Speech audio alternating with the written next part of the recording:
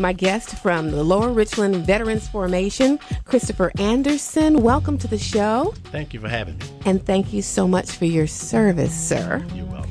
We're going to be talking about um, your Memorial Day Yes. service. But first, will you introduce yourself to our audience? Well, I'm Christopher Anderson. I'm I'm a uh, representative of the Lower Richland Veterans Formation, which is a smaller version of the actual veterans group that's out of the VA hospital. okay. It's the more community version group where it allows the more the where the the veterans group at the hospital is more male oriented. Mm-hmm. This group right here, we have many females. It's all part. inclusive So it's all inclusive now. And so we do a lot of different things inside of the community. Okay. And so the Memorial Day service, Mm-hmm. that is one of the things that you do every year. Yes. Okay.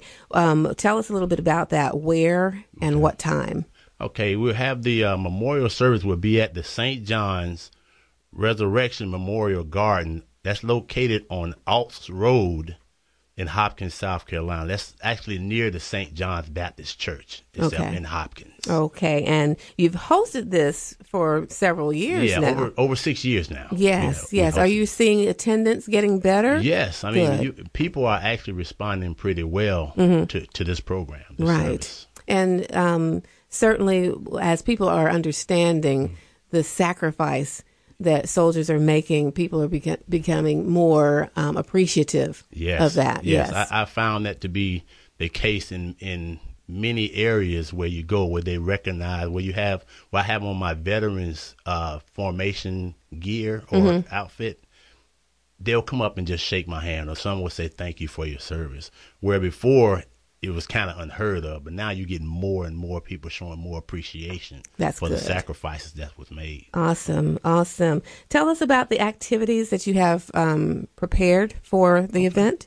Okay, the activities we have prepared. Of course, we're going to have a a dynamic speaker coming off of Fort from Fort Jackson. Okay. Um, her name is uh, she's a chaplain, Chaplain Stewart, dynamic speaker. I haven't heard her, but I've heard great things about her. We will also have a missing man's uh, program, which I am responsible for, and it's just paying tribute to the fallen soldiers, you know, that have given their, their lives and sacrifice.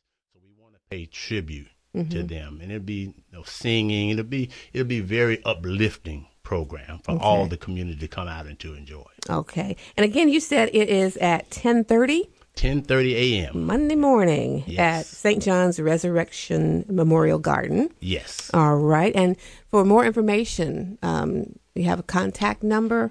Yeah, People- um, we have a contact number for for more information.